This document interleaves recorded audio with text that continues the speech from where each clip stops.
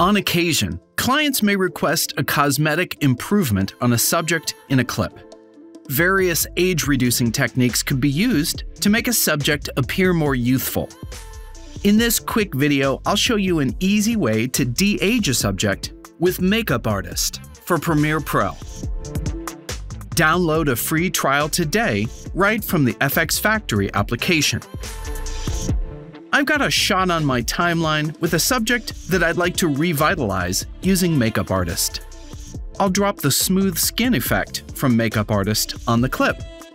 Under the View menu, I'll choose Original and then use the Skin Color selector below and select an average skin color area on the subject's face. I'll switch to the Selection view to see the mask.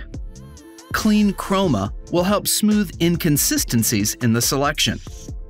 I'll make adjustments to hue, saturation, and luminance.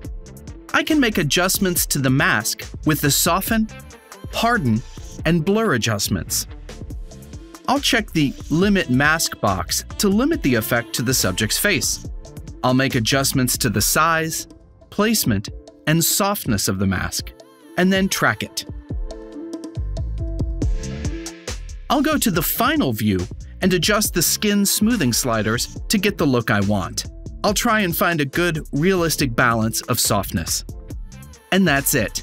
Makeup Artist allowed me to quickly erase a few years from my subject with minimal effort.